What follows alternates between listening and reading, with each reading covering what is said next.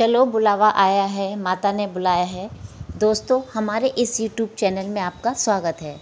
आज हम आपको जागेश्वर धाम के बारे में बताएँगे। जागेश्वर धाम वो धाम है जहाँ भगवान शिव का लिंग गिरा था और जहाँ भगवान शिव की लिंग के रूप में पूजा की जाती है। इस पौराणिक कथा का विस्तार इस प्रकार से बताया गया है दोस्तों।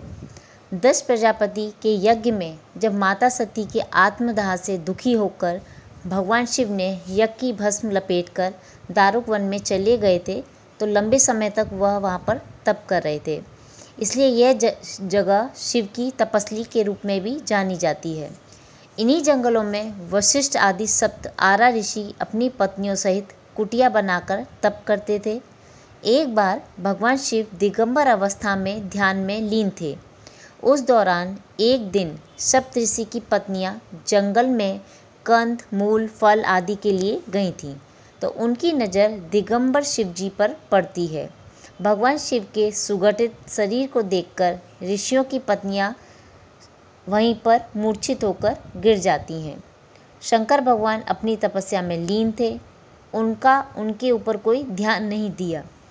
फिर ऋषियों की पत्नियाँ काम स्वरूप में अंधी होकर वहीं मूर्छित होकर गिर जाती हैं। जब वो पूरी रात कुटिया में नहीं आती हैं तो ऋषिगढ़ सुबह होकर उन्हें ढूँढने के लिए निकल पड़ते हैं। तब सप्त ऋषि ने देखा कि शिव समाधि में लीन है और उनकी पत्नियाँ मूर्छित होकर गिरी हुई हैं। तब उन्हें लगा कि भगवान शिव ने उनकी पत्नियों के साथ अवश्य ही व्यभिचार किया है और इस आकंशंका में वे भगवान शंकर को शाप दे बैठते हैं और बोले कि तुमने हमारी पत्नियों के साथ दुर्व्यवहार किया है। अतः तुम्हारा लिंग तुरंत तुम्हारे शरीर से अलग होकर गिर जाए। भगवान शिव ने आँखें खोली और बोले कि आप लोगों ने मुझे संदेहजनक परिस्थिति में देखकर अज्ञानता के कारण ऐसा किया है। इसलिए मैं इस श्राप का विरोध नहीं करूँगा। मेरा लिंग अपने आप गिरकर इस स्थान पर स्थापित हो जाएगा। और तुम सभी सप्तऋषि भी आकाश में तारों के साथ अनंत काल तक लटके रहोगे।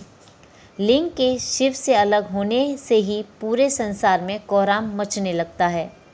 ब्रह्मदेव ने संसार को प्रकोप से बचाने के लिए ऋषियों को कहा कि आप माँ पार्वती की उपासना कर करें ब्रह्मदेव जानते थे कि शिव के इस तेज को पार्वती देवी ही धारण कर सकती हैं।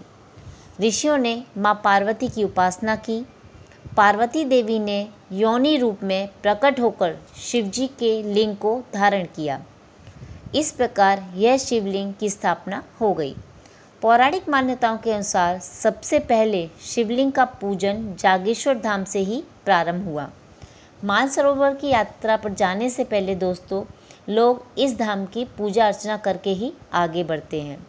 यहाँ करीब 200 से भी ज़्यादा मंदिर हैं।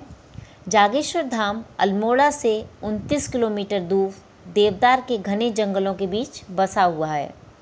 इस धाम का प्राचीन काल से ही बहुत महत्व है। यहाँ भगवान शिव जागृत रूप में विराजमान हैं। यह पहला मंदिर ऐसा है जहाँ लिंग के रूप में भगवान शिव की पूजा की जाती है। यहाँ मंदिर परिसर में ही एक प्राचीन देवदार का वृक्ष है, जो कि नीचे से एक और ऊपर से दो शाखाओं वाला है। मान्यताओं के अनुसार देवी पार्वती और भगवान शिव का दर्शन लोग इस वृक्ष में ही करते हैं।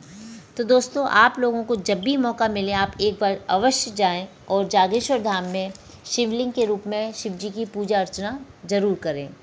तो दोस्तों, मेरी इस कहानी को ज़्यादा से ज़्यादा लाइक एंड सब्सक्राइब कीजिए। मैं इसी तरह आपको आगे भी और भी कहानियाँ सुनाती रहूँ। जय माता दी।